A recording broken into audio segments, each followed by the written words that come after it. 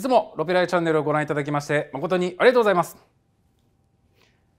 はい、今回はですね、特別編です。ロペライチャンネル 特別編ということで、ポルシェ 996GT3RS をインプレッションするんですが、お相手はなんとですね、はい、えー彼女の彼らの作者でもあります浅宮キア先生にお越しいただきました。今日はどうもありがとうございます。えこちらこそどうもありがとうございます。えー漫画家の浅宮明です。よろしくお願いします。よろしくお願いします。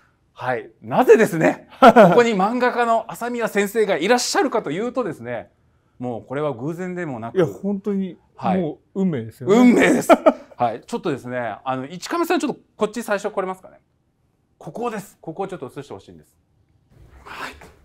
見てください。もう最初にもうネタバレしてしまうと、弊社が買い取りしましたこちらの996彼ら RS、GT3RS にこの休校にですね、これサインがあったんですよ。これは。で、あれ？このサインを見たときに、僕最初パッと。あれ？な何のサインを書いてるんだろうなって思ったんですよ。はい。で大体ですね例えばですけどその、えー、と整備記録簿のなんか1ページ目とか何かダッシュボードにとかっていうものだったんですけうんどあ給油口に書いてあるって結構なかなかレアなケースだなというのもありましてよくよく見てみたらあこれちょっと見たことあるぞと。っていう話を社内でしてたらですねうちのあの練馬店の受付のスタッフがですねああの浅宮先生のサインだみたいな。すぐ気づいて。はい。そしたらすぐコンタクトを取ったんですよ。朝宮先生とうちのスタッフが。どうしてコンタクトを取れるのっていうのもあったんですけどお知り合いだったということで。あのもともと一緒に仕事してたんですよ。はい。えちょっとラジオの方。はい。でそれでそういう感じで。いやびっくりなんですよ。まああそこにいるんですけどね。先生が来ていただいたんですよね、ええ。あその車入ったんだ。そこで、まあ、僕もご挨拶をさせていただいてよかったらこれも何かのご縁なので一緒にインプレッションしませんかと言ったらですね先生が喜んでと。いうことでお話しいただきまして。でも実際これまあ、はい。知ってる車なんですけど、はい。乗ったことはないんですよ。いいですね。でも先生も乗ったことないと言いながらも結構こういった、まあ、レンスポルトモデルは所有もされてらっしゃるあそうですね。あの僕もあのはい。964の RS おをベースにした、はい。まあちょっと変わった車にはなってるんですけど、ストロゼックというストロゼックです。あはい、の、サードパーティーのメーカーがあって、はそれのコンプリートカーに一応乗ってます。あの仕様ではなくてコンプリートがコンプリートがですねエンジンもストロゼックのエンジンが積んである。エンジンははい964の RS のノーマル、あなるほど。はい。基を本的に中身はもう完全に RS のあノーマルのまんまで、はい。マフラーだけストロゼックのちょっと直管みたいなやつがついてへて、ソロゼックといえばあの多分さ写真が出るかもしれないですけど一応ここんな形の はいヘッドライトが特徴的ですよね。あそうですよね。あの、はいちょっと当時としては革新的だったあの、はい。LED みたいな。あああのプロセでキセノンだったり HID って言ったり、あはあいう感じのやつを初めて採用した。感じですよ車のね。モデル結構ちょっとパッと見た目ウーパールーパーみたいな。そうですよね。その他にもいろいろ実は所有されてらっしゃる。いやまあまあまあまあまあまあまあ癖の強めなまあ車なんだかそう全部ね癖が強めなんですよいやいやでもしょうがないです、はい。あの、はい。僕デザインから入る男なんで、あそうですか？ええ、あやっぱり車って僕、はい。まずデザインが第一なんで。おおなるほど。スペックよりもはい。なんか見た目重視というか、そういう感じです。でもそんなあの 96RS シトロゼックもぜひあの今度涼しくなったら車検も取るということなんで今エアコンがついてないんで今取ってもっていうこともあるんでいやどうせエアコンついてないから乗らないですからね、そうですよね。寒くなったら、はい。ぜひなったらぜひ愛車紹介させていただきたいと思います。あこのチャンネルで、はいよろしくお願いいたします。ありがとうございます。はいじゃあちょっとすいません、はいあの正面に戻りました。それではスペックをご紹介いたします。2004年モデルポルシェ 996GT3RS エンジンは水平対向6気筒 DOHC エンジン排気量は3.6リッター最高出力は381馬力最大トルクは 39.3kg となっております。そして、えー、と車両重量に関しては、えー、と車検証ベースで1380キロというふうになっておりますのでうん、まあ、RS モデルですのでとても軽量化されたモデルになっているとはいいうことでございます。でこれ一説によるとですね、えー弊社のホームページにも歌ってるんですけど世界限定200台という形で広告出してるんですけど一応250台ぐらいあるんじゃないか説もあるようでして本当のところはちょっとわからないと。うんただ、えー、と空冷から水冷になった RS のモデルでは一番台数の少ないモデルになっているのがこの996の GT3RS ということでございます。で先生が乗ってらっしゃる RS も少ないですけどもこそうのですね。この当時まではカタログモデルではなかったんですよね RS ででこのブルーラインは僕なかなか見たことなくて、はい、赤が多いですかね。赤多いですよね、ね、ただ今あの弊社でも販売してた時から比べるともったいぶ値段もいい感じに いい感じ良くも悪くもなるかもしれないですけど上がっていただいて、はい、はい、こちらも今当時の新車価格でいうと1600万円前後ですけどもまあ、倍では買えなくなってきてしまっているあでもあ倍まあそうですね倍近いところですかねー。ぐらいになっているということでございます。なので本当に距離がもう1000キロとか2000キロみたいな答えが出てくればもうそれこそもう2倍3倍というような形になってくるのかなというふうに思います。ではちょっといつも通りですねあの鍵からご案内させていただくとですねこの996からこういった鍵になる993まではあれですよねあのリモコンがついてないんですよね。ですね。はい、あのーちっちゃいライトそうですねのあのボタンぐらいしかついてない。で車外でなんかリキーレスをつけたりすはいはいはいるというような仕様だったみたいです。であとちょっと開閉させていただくとですね一応ロックアンロック同じボタンなんですけどこれでロックと、はい、でアンロックと。はいという特に音はしないですね。でフロントフードを開かない。反応しないですね。あ、開いた。あ開けました。はい。ここに向けてやらないとダメですねきっと。はい。で開けるとあやっぱりこの RS モデルですねここもシシールでなって、はいこれも軽量化にこだわっているということでございます。はい。やっぱり特徴的なのはここがドライカーボンになっていてうん。というところもやっぱ軽量化にこだわっているんで先生の RS もボンネットはもうシュトロゼックなんでもうあれですかボンネットからして違う？いや、ボンネットは純正のまんまのやつを使ってるんで、アルミですね。あそうですか、えであとですねここ997とか996ぐらいまではオプションコードが全部ここに書いてあるんですけど、うん。今の車はもうなくなっちゃいました。でフェラーリとかになると今の現行モデルはこうオプションコードが逆につくようになったんですね。トランクの方に。はい、あとは、まあ、この荷物はそこまで大きく入りませんけども、はい、これくらいのスペースがあって、まあ、バッテリーがここにあるよということです。めっちゃ綺麗ですね。綺麗ですよね、うんこのヘッドライトいわゆる後期なんで涙目とかって言われてましたけど、はいは最初涙目ってあまり人気がなかったんですよい。ですね。ご存知ですかですよ。あの、はいい、やでもそれでも逆にはい涙目になったから、はいボクスターとの差別化ができたじゃないですか。そうですね。最初、はい。あの996って、はいフロント部分をボクスターと共用してたんで、はい。パッと見た目ボクスターとあんまり印象が。変わらないから、実はあんまり評判良くなかった。はい。でも涙目になって、はい あこれはちょっと911っあていうそういう分かりやすさがど出。ましたよね。確かにそうです。先生もやっぱりそのデザインとかであの車選びされたりすえるんですか？えやっぱりその作品で登場するアニメや漫画にも、ええやっぱりこの辺のこのモデルだったらちょっと描きやすいしみたいな自分が好きだしみたいな。あでも車描くときは意外とヘッドライトはすごい重要なパーツなんですよ。はい。やっぱり人で言うと目に値するんで、ええはい。あのヘッドライトはとにかく手抜かないであ、ちゃんと描こうっていう部分。がありますよね。なるほど。目目は大事ですからね。あ、確かにそうですね。キャラクターとして。で締めるということでございます。うんうんまあフロントはまあこの辺りで、まあ、特にまあ目立った傷とかもないので、まあ、ここは結構まあすってなんぼっていうところはねありますけどもまあそこはしょうがないですね。はい、まあ、結構綺麗な状態でございます。苗木ワンちゃんあの先生にセールスしてます。いやいやいやいや買えない買えない。わかりました。じゃあ続いてちょっとサイドをご紹介いたします。はい。でこちらがサイドでございます。やっぱりこの青いブルーラインがなんとも印象的で、73カレラ RS なんかのねあのデザインとなんか似てますけども、やっぱりポーシェだとこのサイドラインがはい伝統というか、はい。あのクラシカルなところからずっと続いてますよね。そうですよね。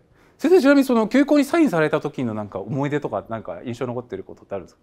たまたまなんか街で会った人にサインをしたとかってそういう あのこれ僕が昔所属してた、はいまあ、某ポルシェクラブの,、はいあの方の あのあれだったんですけどはいであのツーリングではい。一緒になった時にはいサインを入れてくれって言われて、あでやっぱり車にサインってあんまりあ車にボディにサインってあまりないですよね。ないでしょ？はい。ででもやっぱりあの当時はすごいツーリングとかいろんなところに参加してたので、はい。やっぱりいろいろサインをしてたんですけど、はい、やっぱりあのボディにサインすると気が引けるんですよ。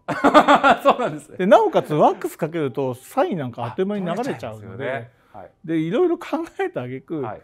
給油口の蓋だったら、はい。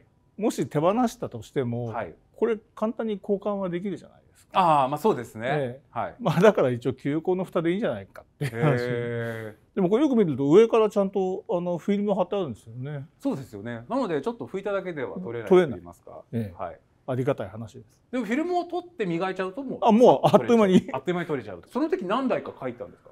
この一台だけなんですか。いや他にもいろいろ書きましたあね、。そうですか。あのあとはパターンとしてはそのボンネットの裏とか、ああ、なるほど。あと人によってはそのダッシュボードに書いてくれっていう。人もいましたので。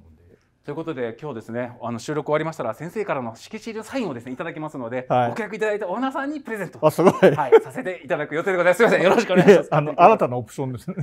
そうですね無償オプションでよろしいですか。はい、ありがとうございます。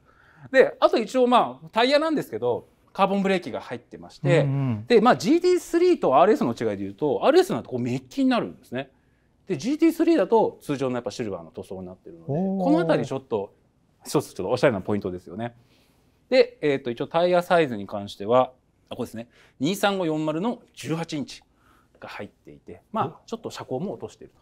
でも今見ると、はい18って小さいですよね。18小さいこの当時は大きかったこいやこのんですよ。当時は本当でかかったんですよ。オプションで18入れたかったんですみんなそう。最初だって16が標準そうですよね。ついててみたいな16標準ですよね。あでも10当時はやっぱ18でかいの履いてるなみたいな感じでしたもんね。はい、20とかなかったですもんね。今だってはい確か 20? 20と21とかです。とかありますよね。はい。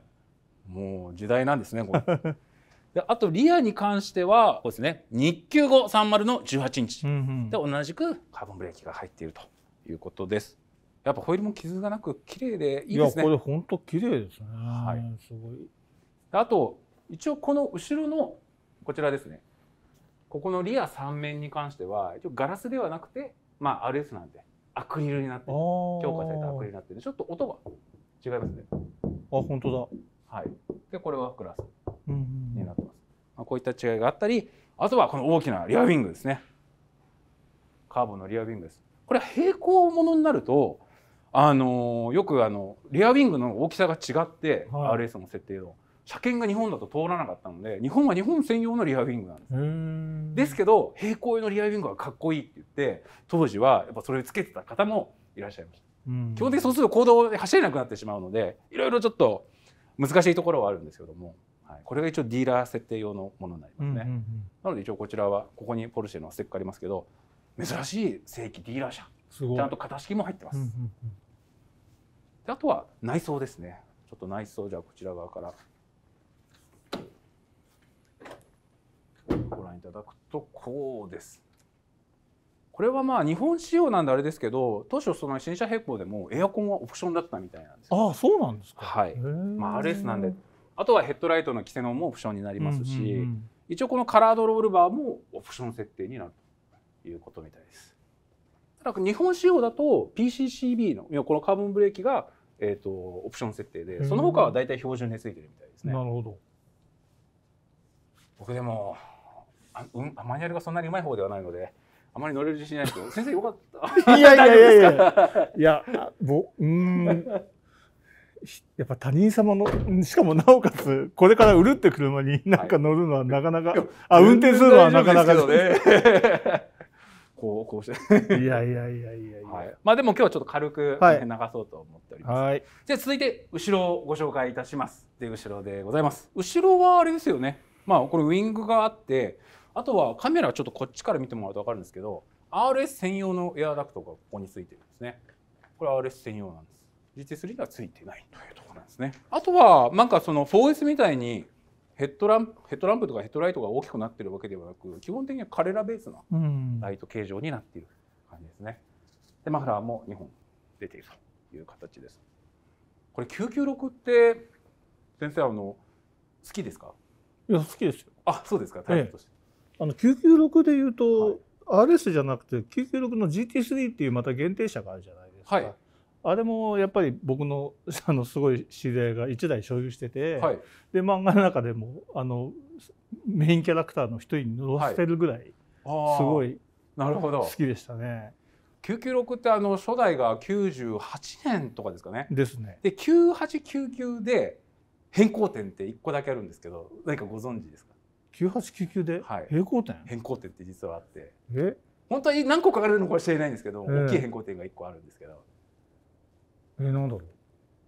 これはですねあの僕も最初お客様から指摘をされて気づいたんですけど、えハイマントストップランプってここにあるじゃないですか、えはいはい。98はつかないんです。ここのレンズはあるのに。あそブうなんですレーキ踏んでもつかなくてえ本当に？はい、で99になるとつくんですなんでどうしてつかないのってよく言われてダミーってことですか？ダミーなんです。つかないんですえよ、これがー。で調べたらあつきません初期物にはっていうのがあったんですよね、へまあ、それからまあ2001年からまた後期みたいな、まあ、はいはい。2001年終わりですかね。後期になったりして馬力が変わったりしましたけどもなんかそういう変更点うんうがありましたね、ん。あとちょっとエンジンルームも開けてみます。その車のなんかスケッチをするときになんか一番大変なパーツとかなんかありますか？その一番対戦されてるのがヘッドライトっておっしゃってましたけど。あでも車ってやっぱり難しいみたいなあのパースが大事ですよね。パーツパース。あパースパース？パースペクティブっていうあのはい。あとやっぱり僕車書くときは、はい。あの実車と同じようにまずタイヤの位置を決めてあ。疑似的に写真のあれを書いてから上に乗せるっていう、そういそうなんですか？そういう形で書いてて車作ってる感じですねまあでもこれはあのどなぜかっていうと、はい。あのルパン三世とかで有名な大塚さんっていうアニメーターの方がいらっしゃるんですけど、あの人の車の書き方っていう本を昔見て、はい。最初にタイヤの位置を4つ決めてはい。でこういうふうにし写真を書いへてー。上に箱を載せるっていう書き方が一番的確だって書いてあったんでそれを守ってます。そうこれはこれはいいこと聞きましたね。できないですけど僕には。そうなんですね。だからやっぱタイヤの位置もはい。パースっていうか、あのパースペクティブですよね、それがやっぱちょっとずれてるとあんまりあ確かにちょっとふにゃふにゃしなよなくないしした感じにもなっちゃいうます、ん。へまあそんな感じでね、えなんか走ってるところのホイールってなんかあのちょっとデザインが変わったりするじゃないですか。あはいはい。逆回転に見えええええ。そういったところってやっぱ難しかったりしてあでもあのー今は僕コンピューターで仕上げてるのでなるほど。あのコンピューターで勝手にやってくれる。ガッと回るような効果も出せます編集んでですね。時代ですねこれ。は、え。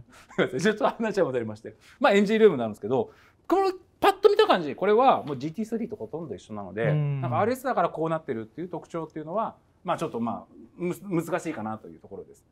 ただここのロールバーの斜めに入ってるんですけどこれは RS は1本斜めに多くついてるみたいですね。GT3 は逆に言うと1本斜めのあロールバーが少ないということでした。はい。では続いて運転席見てみましょう。はい。じゃあまず運転席です。はい。ステアリングもやっぱアルカンタラになって。RS でもあれですよね。ここのドアのところは紐というかあ964はそうでですよね。すね。あの991とかも全部このねあのドアノブタイプではないんですけど、ええ96はこのタイプなんですねやっぱあそこまで軽量化しないといけないのかっていう、ね、そうですね 紐を引くっていうそうですよね。まあステッカーになってるぐらいだったらここも紐にして軽量化にとことんこだわってっていう感じなんですけど。はい。じゃあ先生よかったらちょっと座ってくださいぜひ。えじゃあおお邪魔しますどうぞどうぞ。どうですか？座った感じは？やっぱり椅子がバケットになってるんで、はい。ホールド感がやっぱいいですよねああ。でちょっとシートを合わせていただいて、はいちょっとよかったらエンジンもせっかくなんで、はい、いいぞです。で左側ですね。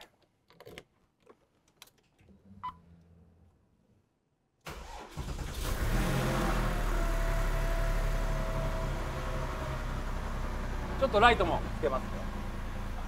あライトちょっとつけづらいですよね。ロールバーがあると。ありがとうございます。これ本当急にトンネルに入った時ちょっと心配ですよね。オートがないんで。今オートじゃないですよねそうなんですよ。はい。こんな感じです。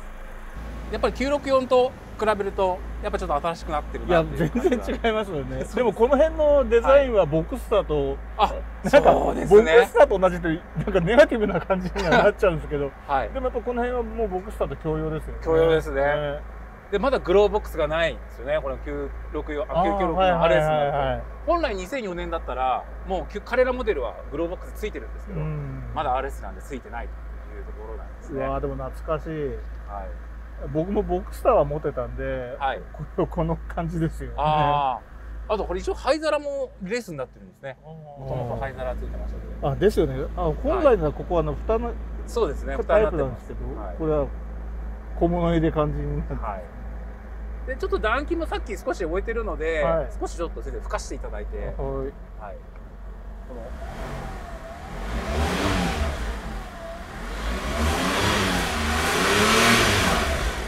いいですねいいですね。ああ。アイドリングも安定してますし。ですねなんかこの音がなんか水冷というよりも空冷に近いちょっと乾いた音な感じがしますよね。そういう演出はい。もなってるんですかねなってるんでしょうね。というはことです。はい。先生、はいすみませんありがとうございます。ますはい。じゃあ行きます。じゃあポジション。はい。ポジションは LED になってますね。そうですね変わってます。ええ変えたんですかねきっとねそうですよね。ええさ最初は多分違うハロゲンランプ。はい、はいでロー。でこれも本来はハロゲンだと思うんで、うんうん多分オプションで変えられてると思うんですね。はい。でハイビーム。はい。切り替えで。ハイビームはハロゲンになってるうんんですね。はい、ハイビームいいよ。解除して。でフォグ。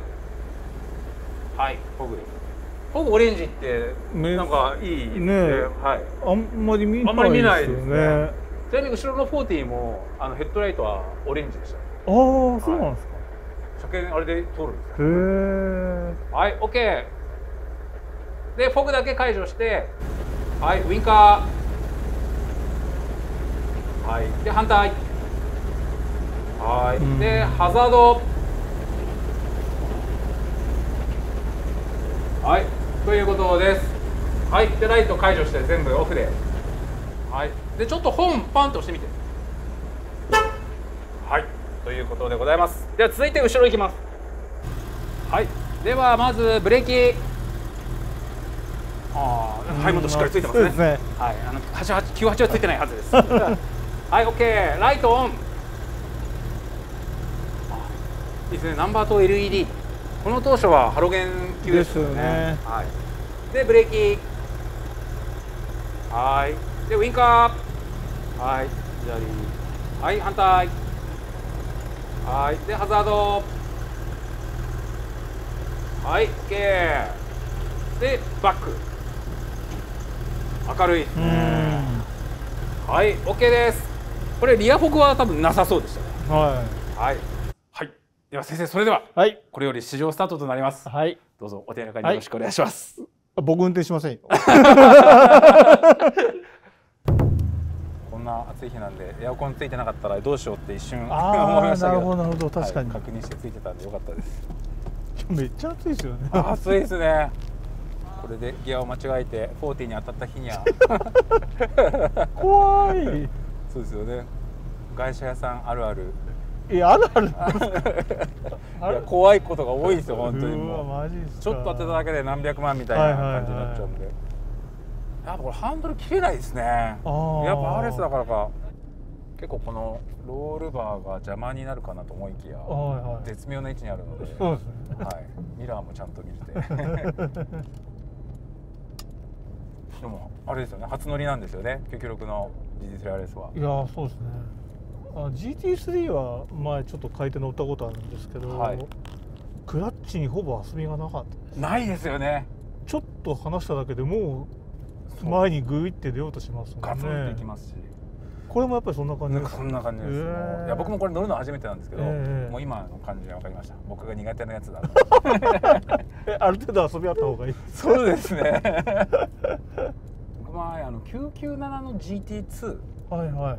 というモデルを紹介した時にですね、ええ。クラッチの操作の仕方が下手くそすぎてですね、えまさか視聴者の方からお叱りをええーそうなんですか？はいことがあったぐらいなので。えその扱いが下手でなんかショックがあったそうですね結構ショックがあってドあーンっていう感じで。ああなるほどなるほ最初にあの言い訳しておきます。ど いやーでもエアコンがあるからなんか快適。そうですね。ドリンクホルダーも懐かしいですねあ懐かしいこれ。これ2つあるんです。よはいはい。これをこっちなんです。あそっか。997からこういう風になったりします、はいはいはい。ありましたね。964ってないですよね。ないです。まあ大体あのはい。エアコンの口に取り付けるやつを探すっていうのがまあ定番でしたね。ああこの音エンジン音が結構入ってきますね車内に、はいですねですね。やっぱりその辺も全部取っ払ってるんですかね。そうだと思いますね軽量化で。うんうんいやでもきっとこの RS も喜んでると思いますよ。まさか先生にこうやって乗っていただうんけるなんて。いやいやいやいや。はい、ドライバーがちょっと問題ある大丈夫ですよでも先生もあれですよねロペライオチャンネルもあの見てますああ本当びっくりですよ。あのこの間ちょっと体感のはい。話を書いた時に、はい。まあ、僕もあの体感ちょっと借りてちょっと乗ったりしてたんですけど、やっぱりちょっと実感がちょっと経ってたんで、はい。ロベルチャンネルではい。体感のインプレやってたじゃないですか、ええはい。あれもちょっと参考にさせていただきました。タイカーのブルーの方ですかね。4S それともあタイカーの普通のあれですかね。普通のやつでしたね。あ白の方ですねなるほどああなるほど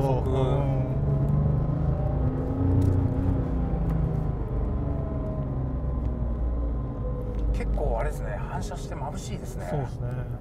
今日さっきあの黄色の車を、はい。あのレビューしてきてはいはいはい。で今白やってるんですけど、ええええ。黄色も眩しいけどやっぱ白も結構、まあ反射反射というかここのやっぱ光でダッシュボード。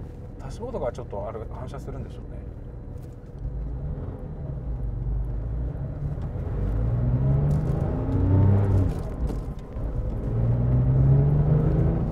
あなるほどなるほどでも最近 NA エがうん。どんどん値段高騰していまして、え991の前期後期で前期は NA で後期はターボになるんですけど、はいはい。前期型がまた値上がりしてきた。あそうなんですね。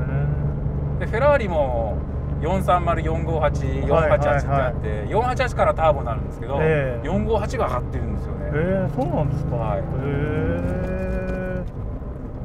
んいやめちゃめちゃ軽快で。え これ。なんか軽さやっぱ感じますね軽いですこれね。うん。この間あの991のはい。GT3RS と GT3 を比較したんはいですよ、はい。で車検証上の車両重量一緒だったんですけど、えやっぱりもう乗った瞬間にもう足回りの軽さとかフロントの軽さが全然違くてですね。え。やっぱ味付けは全然 RS って違うんだなとう思いましたね。ん。あの主人公の轟玲奈さん、はい。でやっぱ轟っていう名前はやっぱりやっぱ車が欲しかったから。やっぱあの車に由来する、はい。名前探した時にまあ一番轟がいい。しかもあの女性 はい。にしてはちょっとはい。あんまり釣り合ってないような名前にしたかったんで。なるほど。え先生のあれ RS はナビついてるんですか？え一応ついてますけどですか？なんかもう壊れててあへえ。役立たない。なんかもう GPS がねおかしいんでしょうね。ああのなんかねあはい。自社位置がいつもね皇居のあたりになったり。何かあります引き継げられてるんじゃないですか？だから一応今もうほぼほぼ Google 先生ですよ。あ確かに今 Google そうですよね。先生が一番いいじゃないですか、情報も新しいですし、ええ。しかも意外とリアルタイムで一番最短距離を全部出してくれますもんね。ね。渋滞までも行きますし、うん。まあこれちょっと言えないですけど、はい。マカンのはい純正のナビがまああまりにもバカすぎて。わ、ああわかります。かります、はい。しょうがないです。これはどうしようもないです。これは結構クレーム多いと思いますよ。本当にディーラーに行って、はい。まず大体入力ができないじゃん目的地みたいな。あだからもうあのカープレイ、はい。アップルのカープレイで、はい。Google のナビをつか使ってますね今。でもあの売却考える時って、ええ今純正ナビついてない方が良かったりするんですよ。値段が上がったりする。これは輸出向けで値段が高騰するんで、はいはい。日本のナビって日本でしか使えないじゃないですかはいはいはいはい。なんで輸出とかブローカーが入った時にそのナビいらないってなっちゃうんですよ。なるほどなるほど。なんで Apple CarPlay とかでバーンってリンクできるナビの方があってはいはい。需要が今は高いです。うーんでちなみにこうやってやっぱ助手席乗ってるとえ運転したいなーとかってなったりはされないですか？えいやいいやあのや。いやすするしないは関係なしに 面白そうだなーみたいななんかそういう。あでも確かにそれはありますね。あ。でもあの最初車は割とそのデザインで決めたりするっておっしゃはいったんで、はじゃあということは試乗ってあまりされないんですか？いや購入前いしますしまあすそれは一応するんで。す ね一応します。あただ試乗しないで、はい。あの購入したことも過去にはちょっとあって、あはい。まあ大体失敗したなと。ああそうですか。それはなんかちょっとフィーリングが違うとか乗り味がみたいな感じそうですね。あのなんか思ったほどはい。ちょっとなんかダイレクトじゃないなとうかーん。スポーツカーだと思って買ったらスポーティーカーだったっていうそういうのはありますよね、まあ、デザインは確かにすごい良かったんだけどみたいなそういった意味で好きなブランドって何の車なんですか？えーでもなんだろう。でもまあまあでも僕スーパーカー関係は全部好きなんですけどまあ金銭的なことを言えばね、はい。まあ そんなに高い車は買えないし。はいはい。でもポルシェはあるあの本当壊れないので、うーんそうですよね。全然。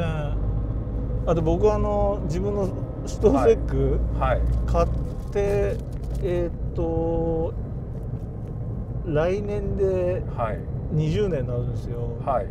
レッカー呼んだの2回だけですからね。へええじゃああの 96RS のショルゼックを買ったのが先なんですかそれとも漫画を作ったのがあ実はあの、はい。ストーゼック買ったのが先です。あそうなんですね、ええそれでちょっとじゃあ漫画にしてみようことこれはちょっと面白いぞと思って。はいじゃああの作者という作者というかごめんなさい。あの主人公はまさに先生をいやまだある程度自分の体験談をフィードバックはしてますね。へええなるほえいやでもなんかマニュアルのねどはい。車に四苦八苦する女性主人公っていうのは面白いじゃないですか。そうですね、え。女性っていうのがまたいいですね。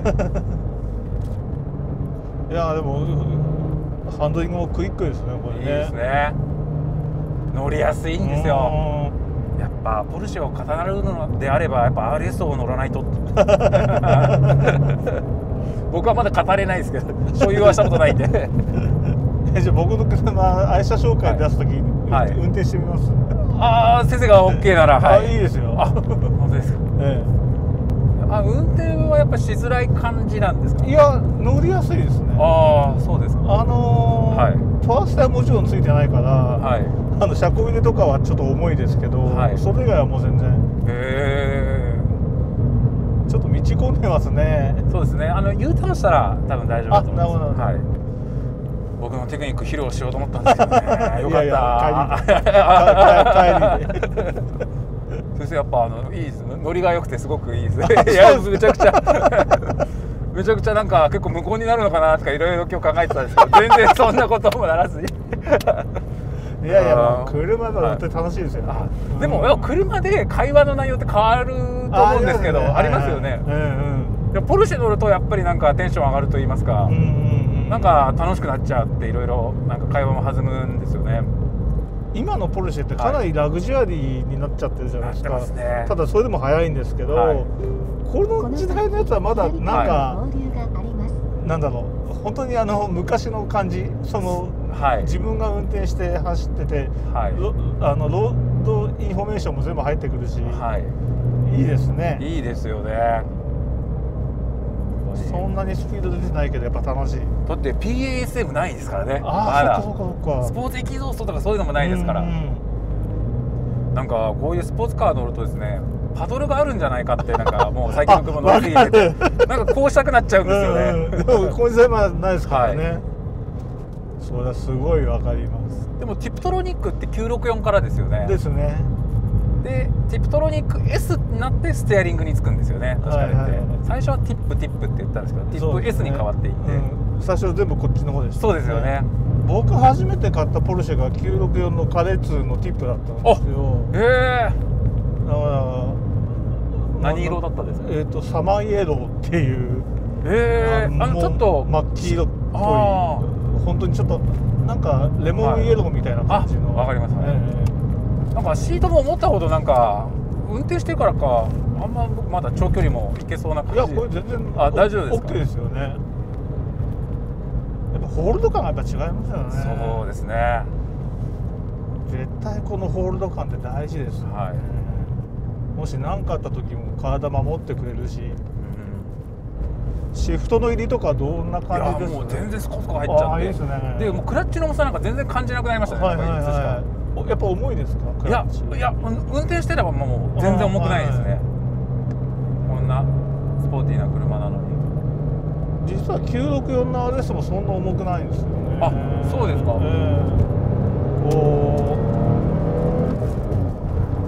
ああいいですね。この NA の。ーうんうんうん。いい加速あーなんかなんかあれですよね。めちゃくちゃ速いとかじゃないんですけど、ええ。なんかもう乗ってワクワクしちゃう。いいですね。先生あの今ならお安く。ああすいません間違えました。買えない買えない。あの下取りも。いやいやいやいや。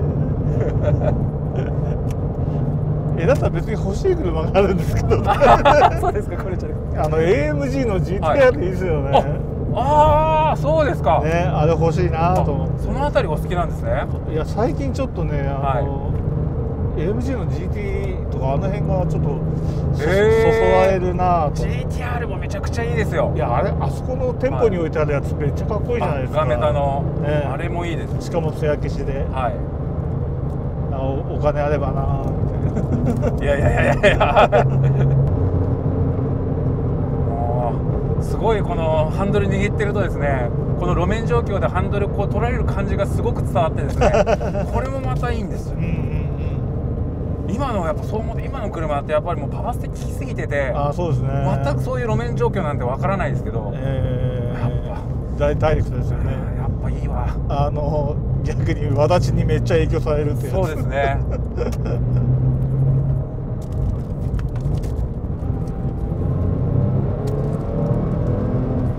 ああ音もいいうん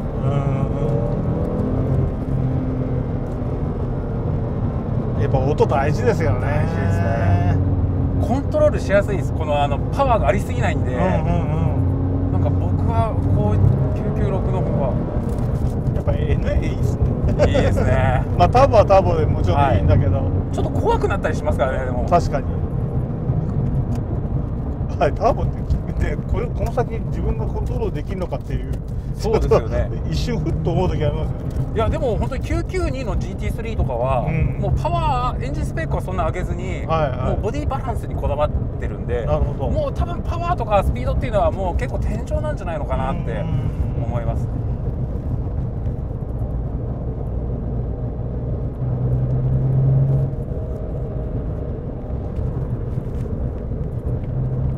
おいやー乗りやすくてよかったです。なんかもっと乗れないんじゃないかなと思ったんですよ、はいはいはいはいい。や全然乗れると思って。先生にも注意されることなかったですし。や っいやそんなことないですよ。いやいいですねやっぱり。ぱいいです。なんか自分でまだコントロールしてるって感じがはい。ひしひしと。うん。最近のあのポルシェマニュアルのええ。オートビリップとか体感したことありますか？いやないですないですじゃあちょっと別の機会でぜひはい。いいですか？あのケイマン GT4 とか、はいはい。GT3 とかもついてるんですけど、ええ。スポーツエキゾースとスポーツあとはオートビリップみたいなのがついていてそのオートビリップを押すともうシフトダウンした時にバーンってもう勝手にもうあ勝手にやってくれるんだ。相手にしてくれて。調整あしてくれて、のあれあれですよね音聞いてあ、はい。なんか俺運転うまくなったってやつ。そうですそうです。ですよね。それです。あれまたいいんですよ。めっちゃわかる僕は本当はそういうついてる車の方が好きなんですけど、はいはい。でもやっぱこれ乗るとなんかこれもこれでうん。ちょっと頑張って自分であのアクセル振って合わせて。あげたくてはい。できもしないのにと言いながら。でもあのオートグリップを僕は体感して、あはいはい。こういう風にアクセルで合わせてあげればいいんだなっていうのは結構勉強になりましたね、最初僕はあの生きってですね加速してる時にもブーンとかってクラッチダブルクラッチとかってやってたんですけど もう生きり生きりってもうですね散々動画に書かれてですね。YouTube こうい。う そこで学んだわけです。あそうだここでやっても意味がないんだな。加速中でなるほまあそんな回だったわけですけどもちょっとあのいつも最後まとめをやっておりましてですね、はいはい。今日先生はあの運転されてないんですけども、ええあのこの996の GT3RS はい。なんかどどうですか？先生あの点数的には100点満点だと何点ぐらいつけられる車だと思いますか？どでも僕これはやっぱりこの,、はい。この時代でもそうですし、はい。今乗っても楽しいしはい。なんかポルシェってはい。あのポルシェを着るっていう形容があるじゃないですか、やっぱこのサイズで、はい。やっぱこの乗り心地あと自分はい。の運転している、やっぱ NA っていうのもあるんですけど、はいやっぱりそれ考えても僕も95点とかお100点とか上げてもいいんじゃないかななるほど。思いますね。95から100ぐらいの間っていうところですか、うんね。あああとはまあ先生も乗っていただいて、まあ、体感すればまたちょっと変わってくるかもしれないんですけども、ね。なるほど。だって高得点なわけですね。RS でこエアコンついてるし。そこかよって言われそうだけど。